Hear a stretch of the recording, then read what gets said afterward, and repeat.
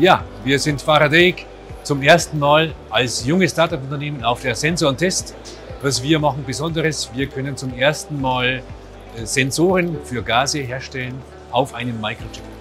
Das sind elektrochemische Sensoren, wir nennen das Microelectrochemical Systems, also mikroelektronische Systeme.